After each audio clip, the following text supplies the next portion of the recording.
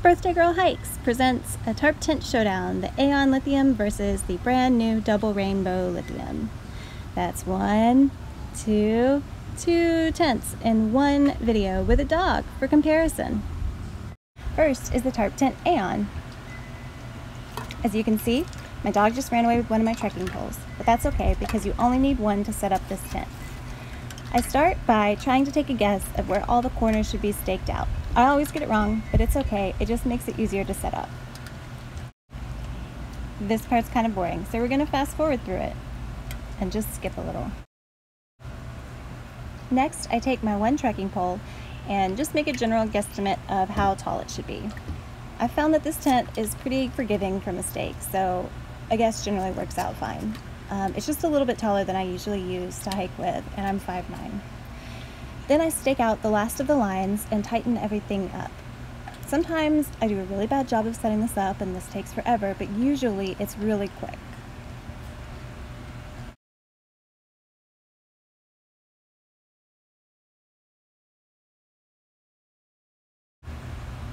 And now we're all done. One tent down. This is tent two, the brand new Tarptent double rainbow lithium. I'm super excited to set this up, but I have never actually watched a setup video. I haven't read any instructions, so this is completely blind, just going off intuition and the picture that they include with the tent. I'm going to do a quick consultation with the picture attached to the tent, grab my stakes, and just try to take a guesstimate of where all these stakes might go.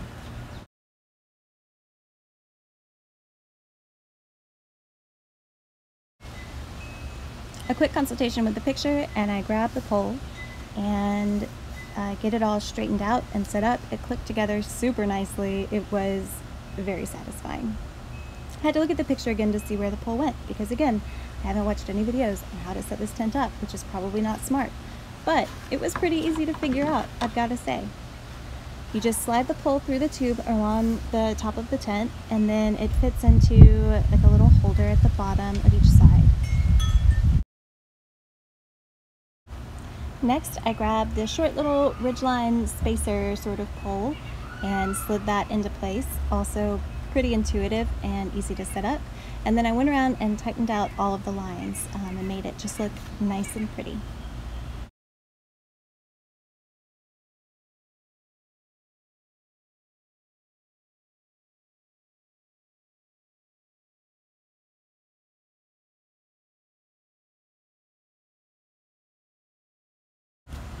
Here's a look at the inside of the Tarptent Aeon. It's a close fit, but my dog likes to cuddle, so this works out for us most of the time.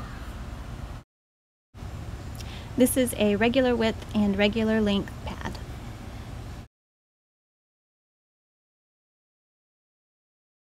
And here we are inside of the double rainbow. Um, as you can see, there's a lot more space for both of our sleeping pads. There's no overlap between them. And eventually my dog will get in and sit down.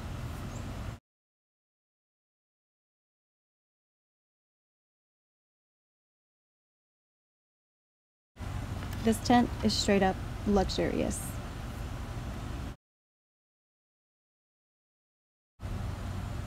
There's so much room for activities. Look at this leg room and height. This tent is 100% Teleco, the trail dog, approved.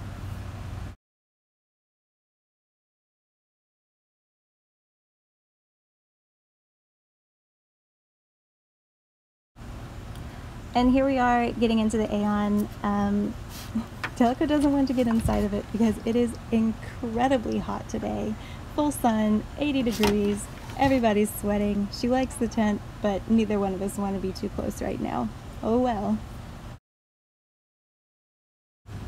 And that's the setup of both of my Tarptents, the Aeon and the Double Rainbow Lithium. If you have any questions, hit me up below. I probably won't respond for like three weeks because I'm really lazy and forget about YouTube. Thanks!